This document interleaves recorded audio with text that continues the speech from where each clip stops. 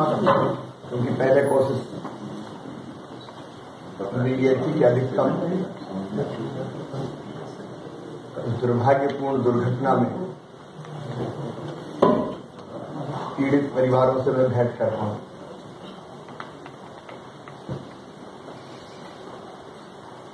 ये दुर्घटना ऐसी है जो अंदर से हिला देती है। आज जितने आँसू गिर जा रही है और अपने यहाँ से एम एस जा रही है।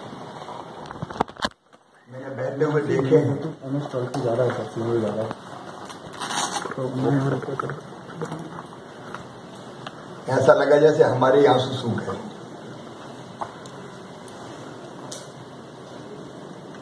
कई परिवार अपने बुढ़ापे की लाठी के सहारे खो चुके।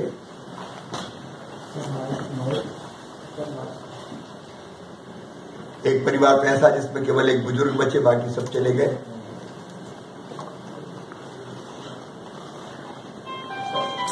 वो जो व्यथा है, वो अंतरात्मा को झकझोर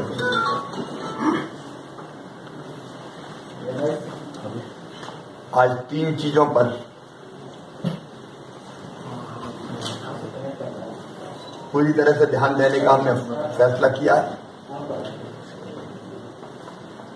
पहली चीज़ वो परिवार जो प्रभावित है। हम उनके लगा लगा लगा ऐसे सदस्य जो उनके बीच नहीं रहे, उनको वापस नहीं ला सकते। लेकिन परिवार को पूरी तरह साथ हम दे पाए।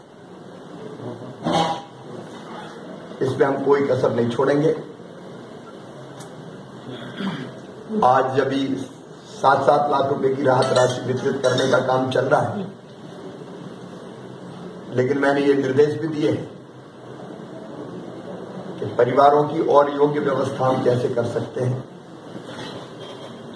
उसकी सूची हमारे जनप्रतिनिधि साथीगण और प्रशासन बनाएगा। चाहे पढ़ाई लिखाई की व्यवस्था हो, रोज़गार का इंतज़ाम हो, काम धंधे का प्रबंध हो, जिस परिवार की जैसी स्थिति है उसके हिसाब से हम लोग फैसला करेंगे। लेकिन पूरी तरह से सरकार इन परिवारों की बेहतरी के लिए कटिबद्ध है।